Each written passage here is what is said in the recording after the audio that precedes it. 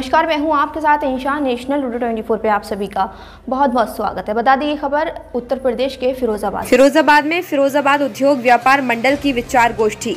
जी हाँ जनपद फिरोजाबाद उद्योग व्यापार मंडल के पदाधिकारियों ने विचार गोष्ठी का आयोजन किया।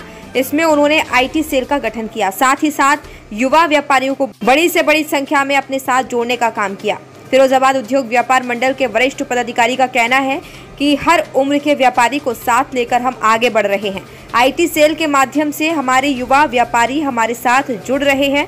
सभी व्यापारियों के हित में ध्यान रखते हुए हम व्यापारी एकता की बात करते हैं और किसी भी व्यापारी का उत्पीड़न बर्दाश्त नहीं करते, चाहे कोई छोटा व्यापारी हो या फिर बड़ा व्यापारी हो।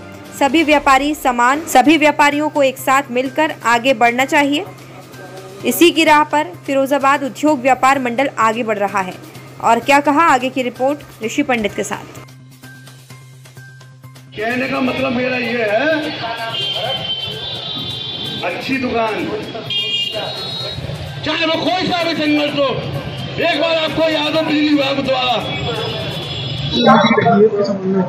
आज आपके चैनल के माध्यम से अवगत करा दें कि आज ये व्यापारी और अधिकारी संगोष्ठी का आयोजन यहाँ के संयोजक साजिद कुरैसी जी के सानिध्य में किया गया है और आज आईटी सेल युवा महानगर का गठन भी हो रहा है और जिसमें साजिद कुरैशी जी को अध्यक्ष और नाजिम कुरैशी जी को कोषाध्यक्ष और सीबू सिद्दीकी को उपाध्यक्ष और राहुल जैन जी को महामंत्री सहित लगभग 21 लोगों की एक कमेटी का आज गठन आदरणीय तिवारी जी के सानिध्य में किया गया है।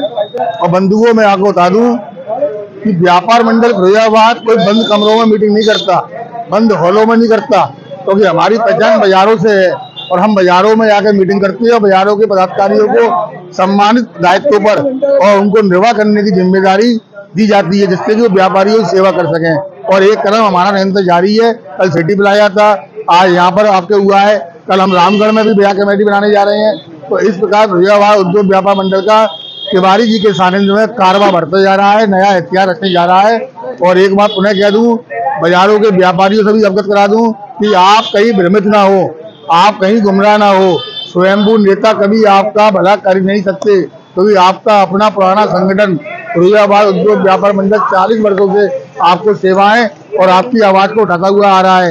इसीलिए अब हम बाजारों में सक्रिय हुए हैं। तो बाजारों में कुछ नेता अपने आप को व्यापार नेता बनकर साल दो सालों से आकर गुमराह करने का कार्य कर रहे हैं और हमारे हमारे नाम पर अपना गठन करने का प्रयास कर रहे हैं और हम सावधान करना चाहते हैं। अन्यथा की स्थिति में उनके खिलाफ कानूनी कार्रवाई करने को भी हम लोग बात बोलेंगे जय हिंद जय व्यापार मंडल। आज यहाँ व्यापारियों की मीटिंग रखी गई है। क्या मैसेज देना चाहते हैं? किस संबंध में मीटिंग फिरोजाबाद उद्योग व्यापार मंडल के तत्वावधान में आज विचार गोष्ठी व्यापारियों के बीच में रखी गई है जिसमें हम ज़िले के पदाधिकारी व्यापारियों के बीच में आकर उनकी समस्याओं को उनके समाधान के लिए विचार गोष्ठी का आयोजन किया गया है।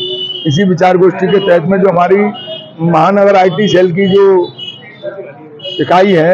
इसकी युवा टीम चौक आज हमारे साथ में युवा काफ़ी लोग जुड़ चुके हैं। उन लोगों की मांग भी है। इसलिए हमने महानगर युवा आईटी सेल का हमने उसमें अध्यक्ष और उसकी पूरी कमेटी को भी बनाकर और उन सभी लोगों का सम्मान भी किया है।